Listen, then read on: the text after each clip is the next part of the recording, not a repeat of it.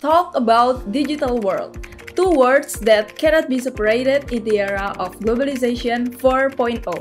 Both men and women are competing in finding their skills to get a job in the digital world. But there's some stigma that digital workers are dominated by males. Is that true?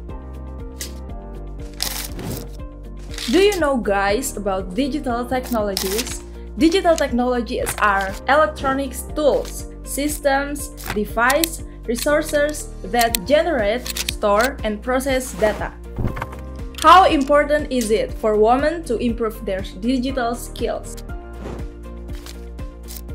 According to Stack Overflow, in 2021, the number of women who become programmers is only 5.31%. In Europe, less than 7% of tech positions are filled by women. It's enough to prove that men often fill the tech positions. If we ask some women who work in the industry, they will say the same thing. Programming is just not for me. I think it might be due to the perception that men are more suitable in the logical dominated career. But the fact is, women can be good at programming too. In the Quora forum related to the discussion of why the informatics and programmer majors are more dominantly filled by men, several points are often mentioned. The first point is women generally lack skills in the digital world. The second point is stereotypes of boys and girls. People said that boys prioritize their logic to make it more suitable to work in the digital world. The third point is some say that related to mindset and inheritance in a profession, there is an imbalance between the two genders where the military academy is more inclined to men while nursing or midwifery is more inclined to women.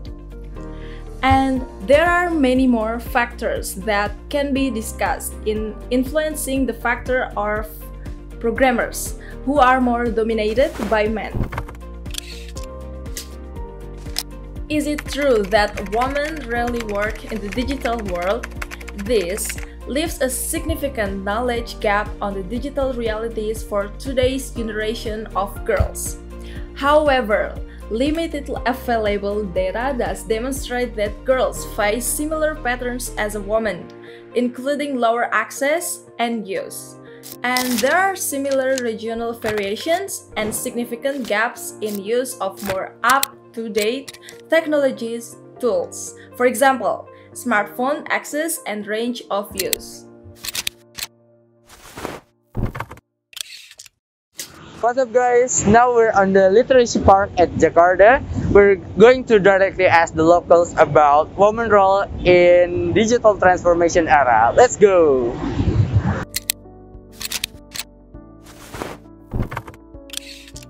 Kalau menurut aku sih kalau di zaman milenial sekarang udah banyak ya perempuan yang udah mulai kerja di dunia digital jadi udah nggak kayak zaman dulu lagi.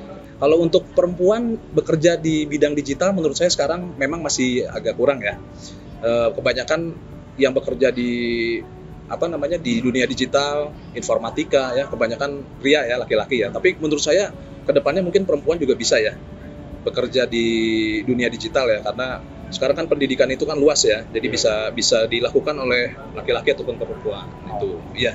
Kalau yang sekarang aku lihat tuh udah banyak banget ya perempuan yang nyemplung di industri digital gitu. Jadi mereka nggak cuma ada di depan layar, tapi mereka berani juga untuk uh, tampil di belakang layar gitu. Hmm. Enggak sih, kan sekarang nggak ada genre, maksudnya nggak ada itu ya. Sekarang kan semuanya bebas, udah mau mau cowok atau perempuan kan sama aja gitu. Jadi menurut aku enggak sih.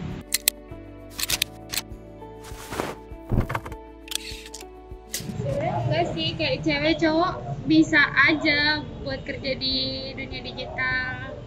Nggak nggak harus gender cowok juga. Sekarang cewek banyak juga kok yang belajar desain gitu. Ya.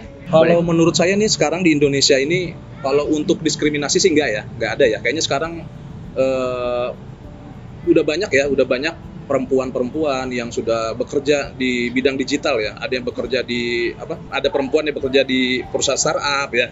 Terus ada perempuan yang bekerja sekarang di programming juga sudah ada kan? Sudah ada yang bekerja uh, berhubungan dengan komputer ya? Um, of course masih ada ya yang tentunya nggak terlihat gitu kan. Apalagi yang kita tahu diskriminasi mungkin seperti kayak mengucilkan misalnya pekerjaannya kayak terlihat ini kan pekerjaan laki-laki kenapa dikerjain perempuan gitu kan? Hmm. itu kan diskriminasi yang mungkin kayaknya jarang kita denger ya tapi uh, aku tuh sering banget sebenarnya denger dari teman-teman aku mereka tuh didiskriminasi sebegitunya dalam pekerjaan mereka apalagi di balik layar gitu. Kalau menurut aku sih banyak ya kayak diskriminasi itu banyak banget. Maksudnya bukan cuma di dunia digital kan maksudnya di mana aja kan emang banyak sih menurut aku masih ada